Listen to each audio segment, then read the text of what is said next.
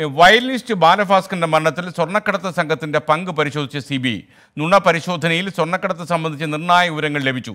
ബാലഭാസ്കർ മരിക്കുന്നതിന് മുമ്പ് വിഷ്ണു സ്വർണക്കടത്ത് തുടങ്ങിയിരുന്നു. വിഷ്ണു സോമസുന്ദരത്തിന്റെ സ്വർണക്കടത്ത് ഇടപാടുകളെക്കുറിച്ച് ബാലഭാസ്കറിന് അറിവുണ്ടോ എന്നിപ്പോൾ സി ബി ഐ പരിശോധിക്കുകയാണ്. തിരുവനന്തപുരത്ത് നിന്ന് ഷബീദ് റാവു ചേരുന്നു. ഷബീദ് ടെലിഫോൺ ലൈനിലാണ് ഷബീദ് ഉള്ളത്. ഷബീദെ ഈ വിഷ്ണു സോമസുന്ദരത്തിന് സ്വർണക്കടത്ത് ഇടപാടുമായി ബന്ധമുണ്ട് എന്നുള്ള വാർത്തകൾ നേരത്തെ തന്നെ വന്നിരുന്നതാണ്. എന്നാൽ ബാലഭാസ്കറിനെ ഇതുമായി ബന്ധിപ്പിക്കാനുള്ള എന്തെങ്കിലും തെളിവ് സി ബി ഐക്ക് ലഭിച്ചിട്ടുണ്ടോ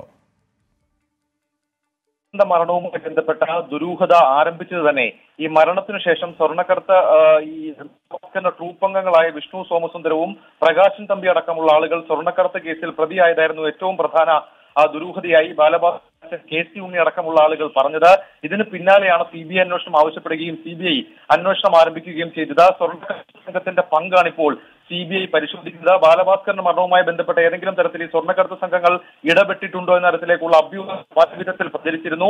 എന്നാൽ ഈ കഴിഞ്ഞ ദിവസം നടത്തിയ നുണപരിശോധന അതിന്റെ റിപ്പോർട്ട് പൂർണമായും ഇപ്പോൾ സി ബി ഐക്ക് ലഭിച്ചിട്ടുണ്ട്.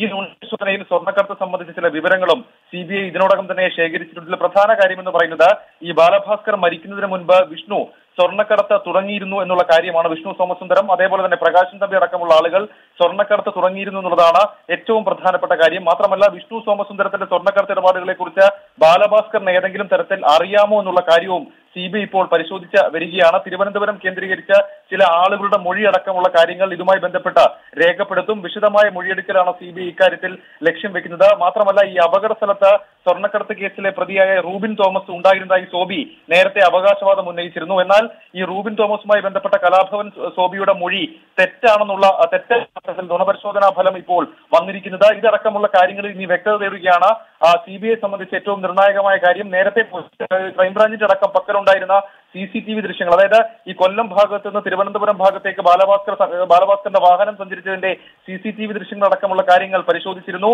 അവിടെ ഉണ്ടായിരുന്ന കൊല്ലത്തെ ഒരു ജ്യൂസ് കടയിൽ അടക്കം ഉണ്ടായിരുന്ന ആളുകളെ കൂടുതൽ വിശദമായി മൊഴി രേഖപ്പെടുത്താനും ഒരുപക്ഷെ അടുത്ത ഘട്ടത്തിൽ സി ബി ഐ ആലോചിക്കും. S K N. Thank you Shabeed റാവുത്തറാണ് telephone ലൈനിൽ ഉണ്ടായിരുന്നത്.